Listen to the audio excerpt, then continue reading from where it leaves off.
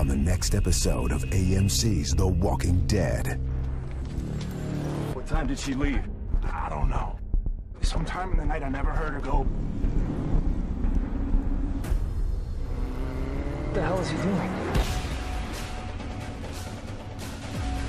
Daryl's gonna get himself killed. No one else leaves. Everyone stays ready for a fight. Well, it's not what we thought it was. It's bigger. For more video, go to AMC.com.